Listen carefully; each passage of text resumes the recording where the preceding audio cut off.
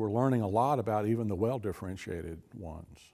Uh, historically, we've thought of them as being well-behaved and therefore called well-differentiated, and we've thought about the really aggressive ones like small cell lung cancer would be a good example.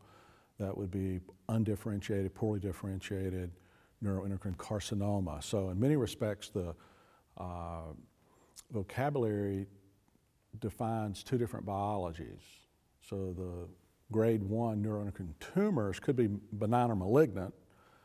However, the poorly differentiated uh, or undifferentiated uh, implies carcinoma. So that disease is similar to what we know with uh, lung cancer and other carcinomas. So neuroendocrine tumors on the well differentiated, they behave totally different from the carcinomas. And it's not often appreciated what those differences are. And so sometimes neuroendocrine tumors are treated as neuroendocrine carcinomas.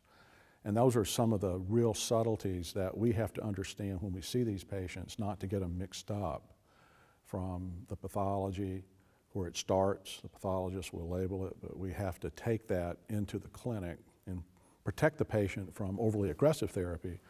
And at the same time, not forget about those patients who are told they have a benign tumor, where in reality we know that their disease is they're at high risk for relapse, and five to 10 years later, they may have metastatic disease.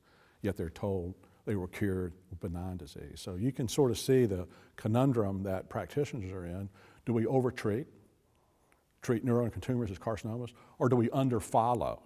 We underfollow the neuroendocrine tumors that are labeled as benign, but really we don't know their biological behavior, so we end up telling them, go home and have a normal life, when actually they should be under uh, surveillance for recurrence.